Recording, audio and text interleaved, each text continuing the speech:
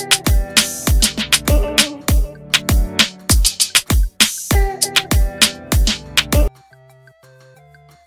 มย์สุดทนฟาดกลับแซ่บปมแย่งซีนปอย เจ้าสาวแจงชัด ทำไมชุดจัดเต็มดราม่าแย่งซีนเจ้าสาวเทียบอั้มไปอีก เมย์ พิชญ์นาฏสุดทนฟาดกลับแซ่บปมแย่งซีนปอยเจ้าสาวแจงชัด ทำไมชุดจัดเต็มเมพิชนาธ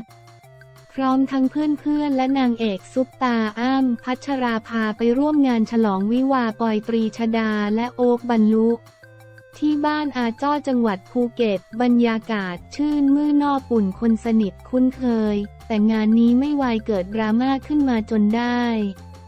เมื่อสาวเมย์โพสต์ moment ร่วม frame กับเจ้าบ่าวเจ้าสาวหล่อสวย โดยมีสาวอั้มร่วมด้วยอีกคน พร้อมข้อความสุดยินดีกับปอยเจ้าสาวว่า คุณค่าที่ปอยคู่ควรยินดีด้วยเป็นที่สุด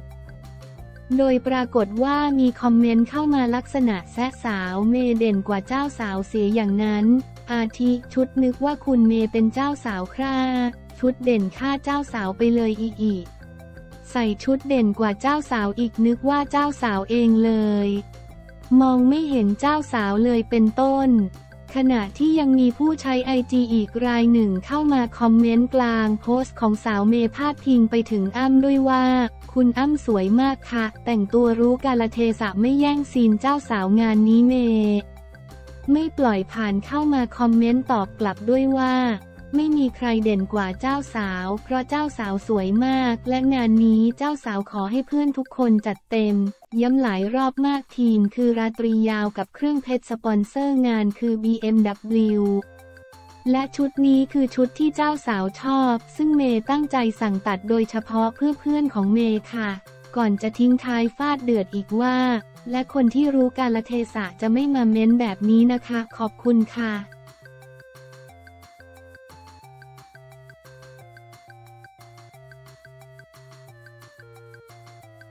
แก้มวิชยานีห่วงชีวิตโสด ยังไม่พร้อมมีแฟนตอนนี้รู้ชีวิตทำเพื่อใครสเปคไทยหรือเทศไม่ติดน้องสาวเกด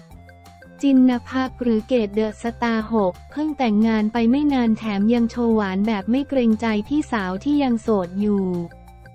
ล่าสุดเจอนักร้องสาวแก้มวิชยานีเปียกลิ่นในงานถแถลงข่าวคอนเสิร์ต สีโพดำปะทะสามดอกจิก ที่ตึกแกรมมี่ผู้สื่อข่าวได้สัมภาษณ์นักร้องสาวว่าเห็นความสวีทของน้องแล้วอยากมีแฟนบ้างหรือยังในฐานะพี่สาว เรารู้สึกดีใจกับน้องส่วนตัวเราไม่ได้มีประสบการณ์ด้านนี้เท่าไหร่ เพราะฉะนั้นน้องเขาจะมีแฟนตลอด แล้วอันนี้เขา happy มากไม่ผิดเลยที่จะหวานขนาดนั้น เพราะได้แฟนดีจริง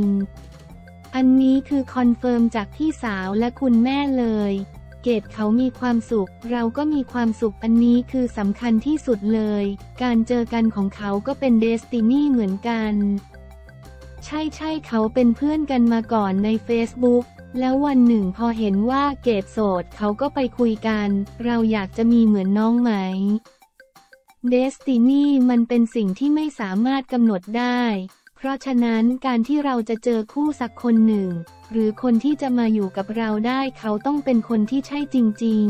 ๆ เราไม่ได้มองว่าเรื่องนี้เป็นสิ่งที่เราจำเป็นต้องมีนะ ตอนนี้หรือตอนไหนเรามองว่าถ้าคนที่เข้ามาแล้วรู้สึกว่าใช่ คนที่เข้าใจในสิ่งที่เราทำสิ่งที่เรารัก เพราะเราไม่หยุดทำงานแน่นอนอันนี้มันสำคัญมากแล้วก็การที่จะเข้ากับครอบครัวได้ ทุกๆอย่าง มันต้องเป็นคนแบบนั้นมันถึงจะเก็ตกันเราเปิดใจหรือมีกำแพง แก้มว่ามันมีอยู่แล้วค่ะกำแพงโดยเฉพาะกับผู้หญิงที่โสดมาตลอด เหมือนเรารู้สึกว่าเราอยู่ได้ดูแลตัวเองได้ไปไหนคนเดียวได้ดูแลแม่ได้ทำอะไรที่อยากทำได้ โดยไม่ต้องมีการตัดสินใจจากอีกคนหนึ่ง แต่ในวันหนึ่งถ้าเราเจอคนที่เข้าใจเรา และเราเข้าใจเขามันก็ไม่แปลกค่ะ เพียงแค่ตอนนี้เรายังไม่เจอ งานแต่งน้องทำให้เราเชื่อในความรักมากขึ้นไหม เราเชื่อในความรักอยู่แล้ว เราไม่เคยบอกว่าความรักมันยาก แต่มันอยู่ที่เราเริ่มรักตัวเองหรือยัง อันนี้สำคัญที่สุด สเปคเราเป็นยังไง ไม่ติด เมื่อถึงเวลาเราไม่ได้มองหรอกว่า คนนี้หน้าตาเป็นยังไงเรามองว่าจิตใจเขาเข้ากับเราจริง ๆ ไหม คนเชียร์ให้เราสายฝอ เหมือนน้อง ก็ไม่ติดไงไม่ได้กลัวการมีแฟนค่ะ ยิ่งโตเรายิ่งเข้าใจตัวเองมากขึ้น เรารู้สึกว่าถ้าเรายังรักตัวเองไม่เต็มที่พอ แล้วเราจะรักคนอีกคนหนึ่งได้ยังไงไม่ได้กลัวแต่ยังไม่เจอ มีแผนสำรองไหมถ้าไม่มีคู่จริง ๆ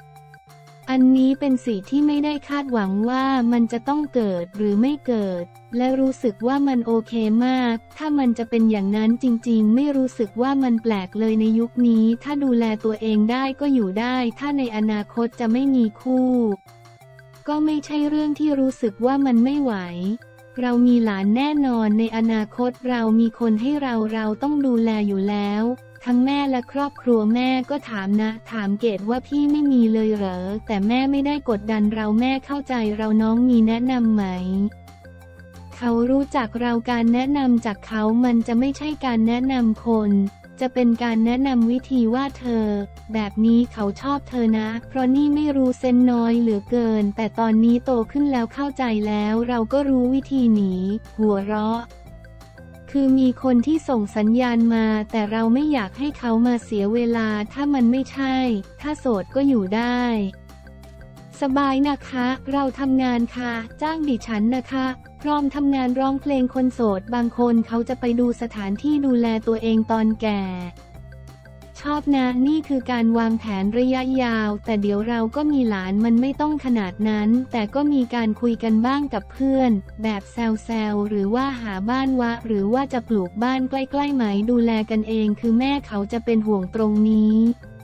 เพราะเราก็โตแล้วเขาก็ยังหวังแหละว่าลูกจะได้มีคนอยู่ข้างๆนะ แต่ถ้าสุดท้ายแล้วมันไม่มีหรือมันไม่ใช่ก็ไม่เป็นไร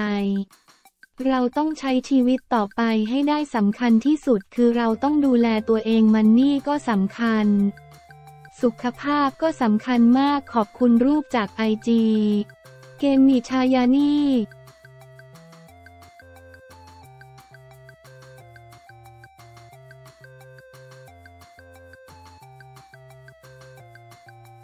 เจเจน้องชายเอมี่ขอแพรเอมเมอรี่ อดีต girl group แต่งงานพบรักในงานวิวาห์พี่สาวว่าที่เจ้าสาวน้ำตาไหลเลย เอมี่ลั่น ถ้ายังไม่แต่งจะด่าและยินดีเจเจน้องชายขอแพรเอมเมอรี่ดาราสาวอดีต girl group แต่งงานริมทะเลสุดโรแมนติก เผยพบรักในงานแต่งพี่เอมี่เป็นอีกคู่ที่ลุ้นข่าวดี เพราะคบหาดูใจกันมานานมาก สำหรับน้องชายนักแสดงสาว เอมี่กลิ่นประทุม อย่างหนุ่ม เจเจเจดกับแฟนสาว แพรเอมเมอรี่ ดาราสาวสุดฮอต อดีต girl group บับเบิลเกิร์ลหลายคนก็คอยติดตามเชียร์ว่าทั้งคู่จะมีข่าวดีกันเมื่อไหร่ ล่าสุดเอมี่ก็ได้โพสต์คลิปน้องชายทำเซอร์ไพรส์ขอแฟนสาวแต่งงานท่ามกลางบรรยากาศสุดโรแมนติกริมทะเล ว่าที่เจ้าสาวน้ำตาไหลเลย พร้อมกับระบุข้อความว่า and she said yes finally คบกันนานจนแบบถ้ายังไม่แต่งจะด่าละ congratulation กาย love you with my whole heart ท่ามกลางเพื่อนๆคนบันเทิงและแฟนๆเข้ามาร่วมแสดงความยินดีกันอย่างล้นหลาม ขณะที่เจเจ ก็โพสต์ moment หวานจุ๊บแฟนสาวชื่นมื่น พร้อมแคปชั่นสุดปลื้มปริ้มว่า